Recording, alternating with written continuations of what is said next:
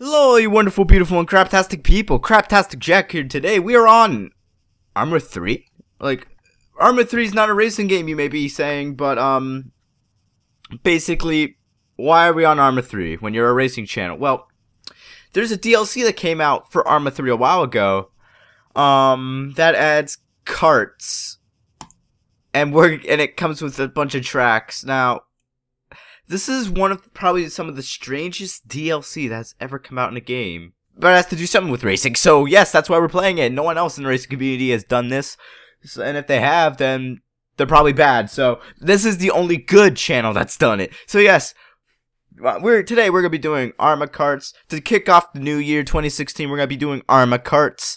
So yes, without further interruptions, let us begin.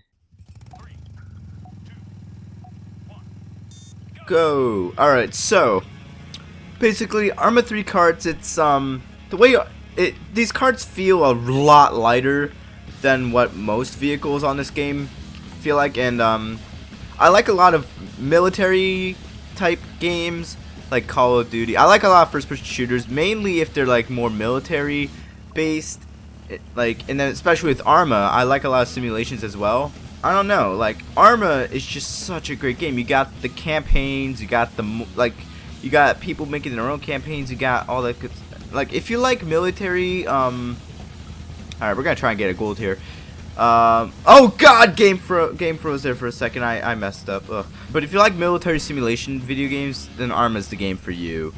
And then also, once you learn how to use the the in-game editor, you can make your own missions and and it's fun as hell. Um, it only took me like an hour to learn the editor, but why am I rambling about actual Arma when we're doing Arma carts? We're trying to get a gold medal, which is 18 seconds. Uh, that last lap I did, I messed up because the game froze there for a second.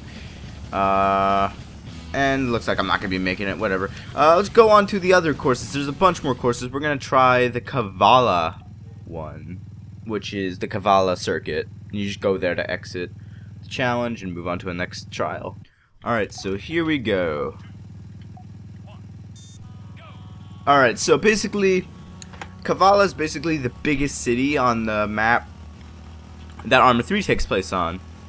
So basically, it's a good place to put a track for karts. Now, I do want to point out that these these cars do have a lot of oversteer, and if that's correct word, it might be understeer. I'm not too sure.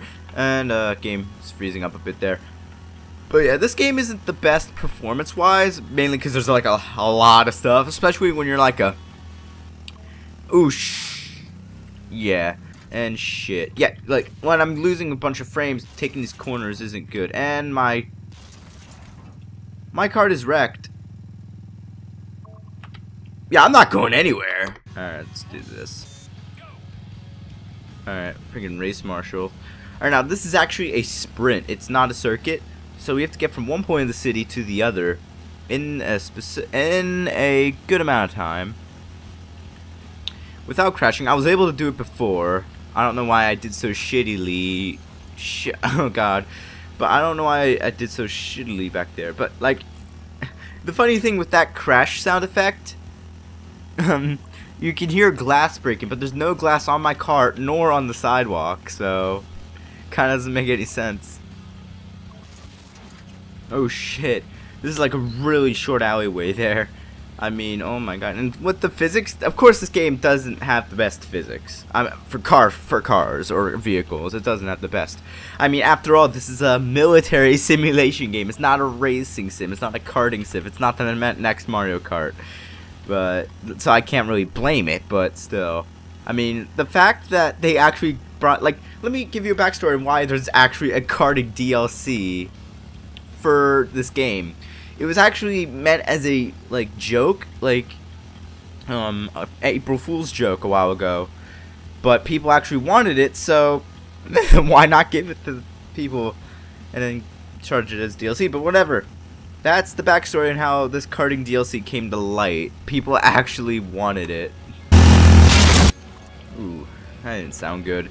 I just literally tapped like a bit over the curb and it's like Okay, finish line's up here. I got a way better time than that. Oh, God! What was that?